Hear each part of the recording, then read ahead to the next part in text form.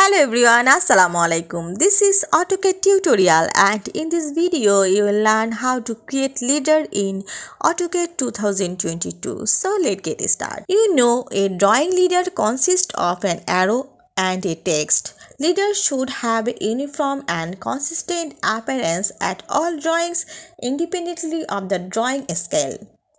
More especially the arrow size, arrow inclination, the text size, arrow line width, etc. should all be the same for all leaders in a drawing. So we have to know how to create leaders. Just I go to the annotate tab and you can find here leaders and select here a multi-leader and then you create a leader in your AutoCAD drawings. And you have to write here something in your leader but I don't need this text so I select another space and there is no text in this leader. You can also create this leader to type a command in mleader m l e a d e r m leader that means mld and you can create this leader. Viewers you have to type q leader to quick access of this leader and you create this leader in quick leader this is quick leader now we have to go to leader command again and I go to the annotate and select here and click of this drop down and go to the manage multi-leader styles. And now I select here modify and I change here leader format. I have to select spline straight and none. I select straight and change this color. Red. And line type. By block. And also line weight. 0.3 and you can arrowhead symbol is closed filled and the arrow size is 0.75 i can change here 0.5 and also the break size is 0.1250 and then I go to leader structure. You can change here leader structure and this content. You can change here the text styles text angle text color and text height here. And now I press ok and select here set current and close.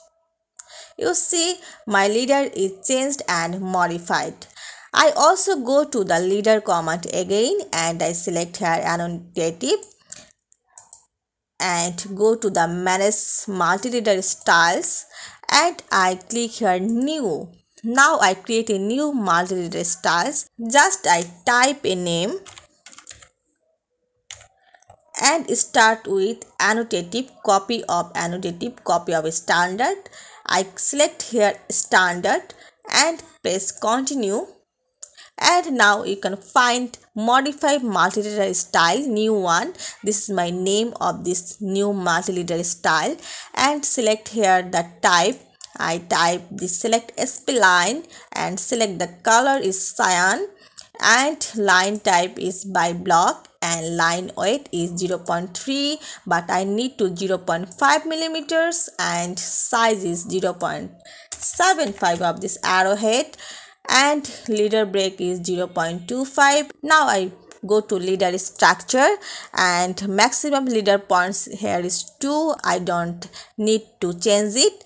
Just i go to content and this is the text. Height is 0.18 i select here 0.2 and text angle is keep horizontal and text style is standard. And i don't need to change this. So i click here okay and now I press close. Now I go to leader and multi-leader. I create a new multi-leader and this is my multi-leader and I create a text. So new one and click the another one. You can see I create a spline and I create again the leader. So I press this and create this spline and I again create another one